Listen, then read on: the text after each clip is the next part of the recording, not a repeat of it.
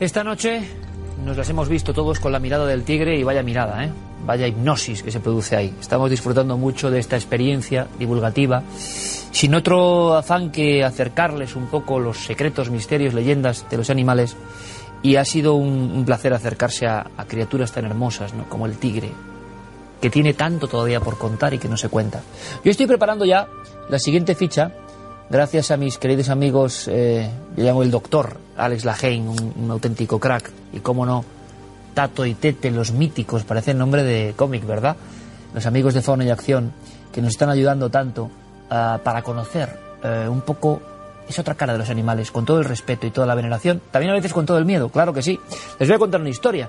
Yo, por ejemplo, durante muchos años sufrí de la aracnofobia, que creo que, no sé si a ese nivel de aracnofobia, pero vamos, que me daban mucho respeto a las arañas, eh, porque me dio picar alguna de pequeño, alguna experiencia de esas traumáticas, y luego me, ya me conocen, me he preguntado el por qué, ¿no? ¿Por qué algunos animales especialmente están significados con nuestros miedos durante milenios? Decía el doctor Cabrera un día, me contó, que el miedo a la araña era, por ejemplo, cuando éramos todavía ese Homo naledi, u Homo erectus, u Homo habilis, lo que sea, y nos escondíamos en los árboles de los depredadores.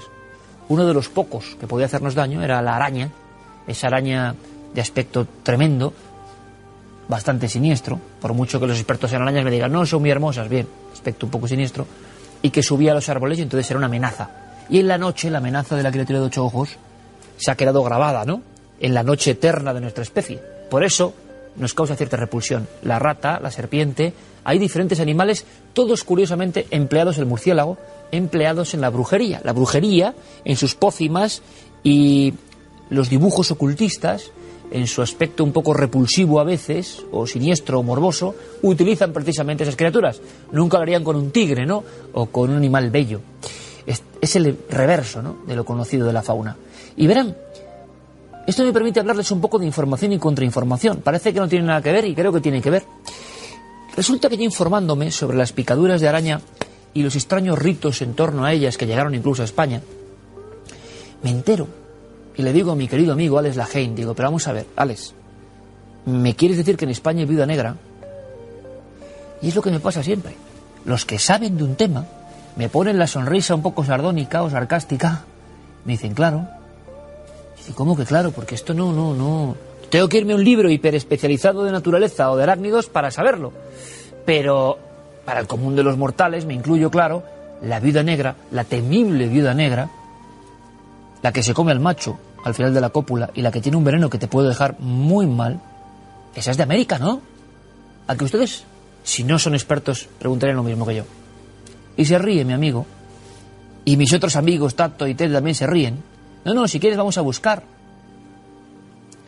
Resulta que en plena provincia de Madrid, yo no tengo por qué ser alarmista, es que dices alarmista, ¿no? Es que son cosas que yo no sé que tienen que saberse, sobre todo por si alguien se acerca a una arañita de cierto aspecto.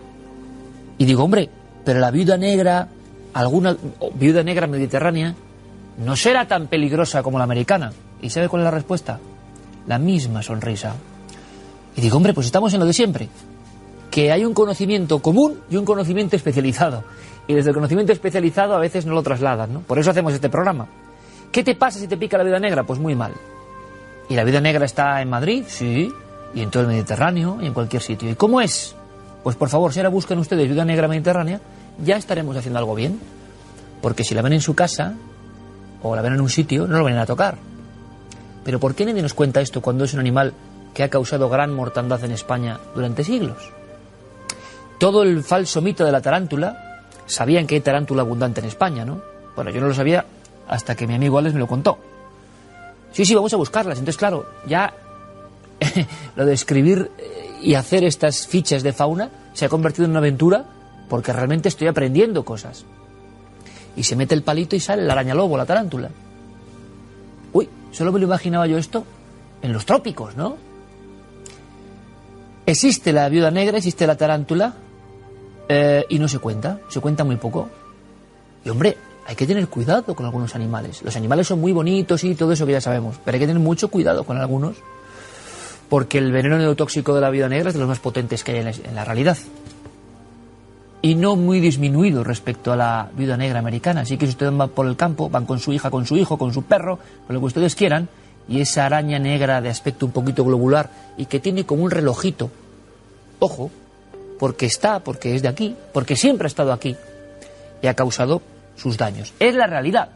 Como a mí no me lo cuentan y me entero y me sorprende, yo se lo cuento a ustedes. Por supuesto que, y ya lo hablamos en su día, en España ha habido siempre araña parda, con el violín en, en las casas. Es la araña del rincón de Chile. Es verdad que esta es menos peligrosa, pero hay que tener mucho cuidado. O sea, no vayas a coger la araña con la mano. No.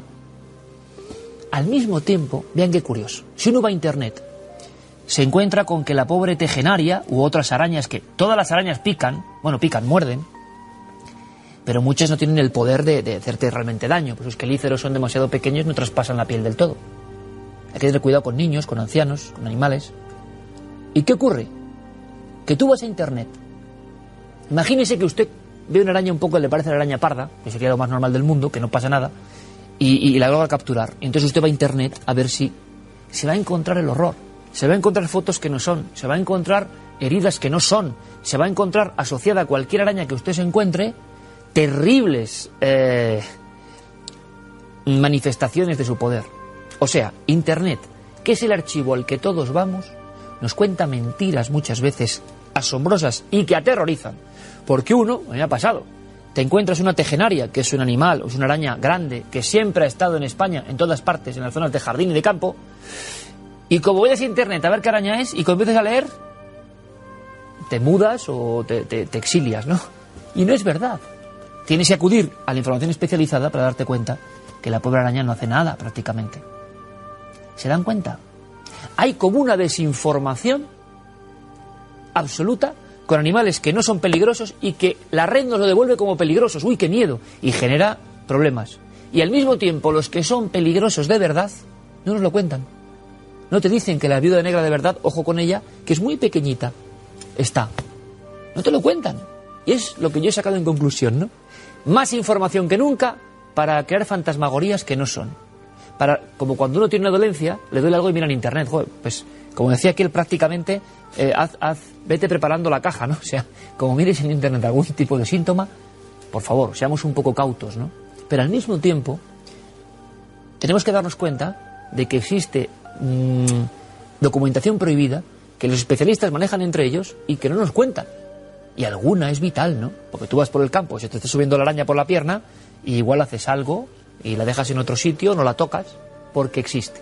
¿Cuántas cosas existen todavía más extrañas que no una simple araña, o no tan simple, y que tampoco nos cuentan? Pues al final, esa es la motivación del cuarto milenio, que somos conscientes cada día más de que tenemos por un lado una enorme desinformación, ficción, miedos eh, envueltos, ganas de asustar, ganas de asustar sin razón. Y por otro lado, las cosas que realmente existen se han quedado en un limbo que no llegan al gran público. Nuestra idea es desterrar esto, ¿no? E intentar absorber de todo esto. Vamos a ver si lo logramos. Y ustedes, estoy seguro que están con nosotros, ¿no? Quieren saber más. Vamos a ver si la aventura nos puede proporcionar muchos más datos. De cosas tan minúsculas, pero a veces tan peligrosas, tan atractivas también, como la vida negra. Hasta dentro de siete días, amigos.